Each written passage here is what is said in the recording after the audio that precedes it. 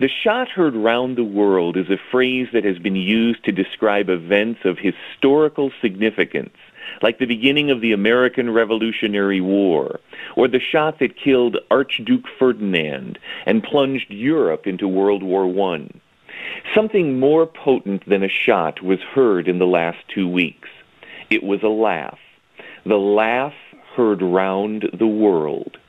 This laughter was the result of Treasury Secretary Tim Geithner speaking to a group of Chinese students about the strength and safety of the U.S. dollar as an investment. The Chinese students could have booed. They could have held up signs and protested. They could have thrown rotten apples, but they didn't. They did something far more damaging. Something that no Secret Service agent could have protected the Treasury Secretary from. They laughed at him and his policy.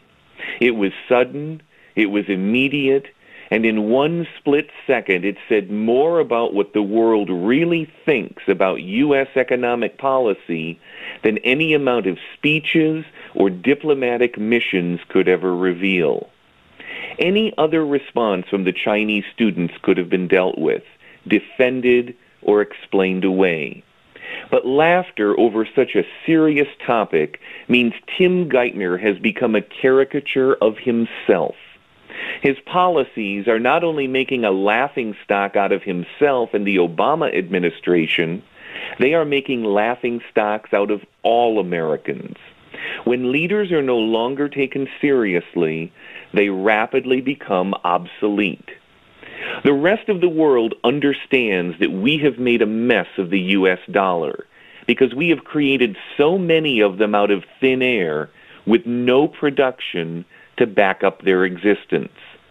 The rest of the world gets it. Many in the U.S. do not.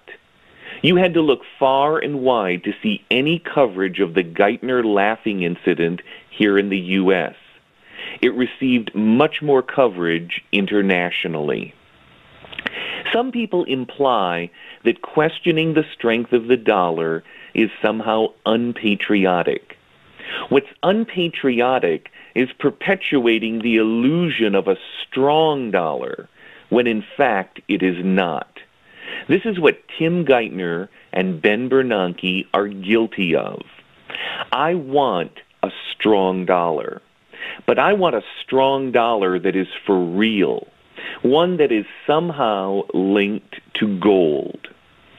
There's a lot of talk from China and Russia the past two weeks about creating a new international currency to replace the U.S. dollar as the world reserve currency. Something like this may well occur. There are a variety of options being discussed.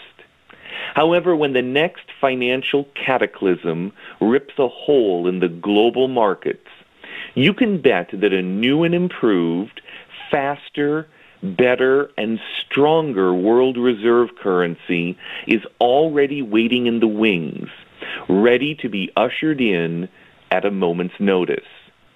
That will be the moment when gold is no longer a four letter word.